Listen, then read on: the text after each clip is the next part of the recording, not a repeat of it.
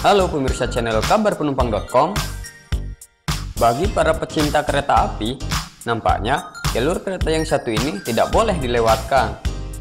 Terletak di Ekuador, jalur ini diberi nama Devil's Nose.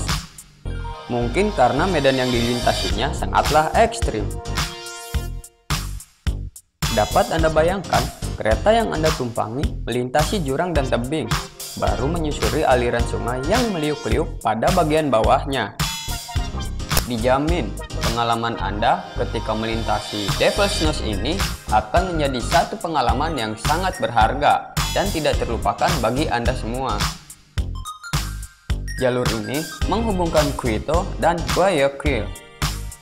Dibangun lebih dari satu abad yang lalu, dapat Anda bayangkan bagaimana perjuangan para insinyur dan para pekerja dalam menciptakan jalur fenomenal ini yang notabene kala itu peralatan dan teknologinya masih sangat terbatas.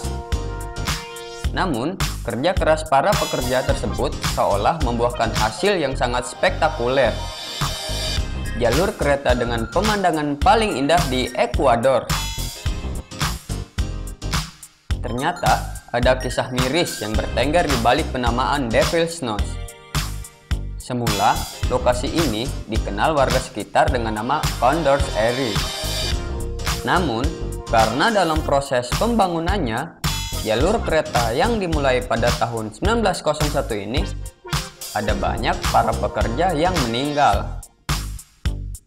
Oleh karenanya, jalur ini dinamai Devil's Nose. Belum lagi cerita tentang Devil's Nose yang dibangun salah satunya oleh mendiang kakek dari seorang penyanyi asal Ekuador yang terkenal, Julio Hamarillo.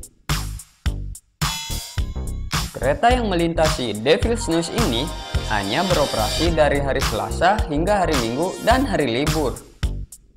Adapun harga tiket yang mesti Anda bayar untuk melintasi Devil's Nose ini adalah sekitar 33 US dollar atau yang setara dengan 469.500 rupiah.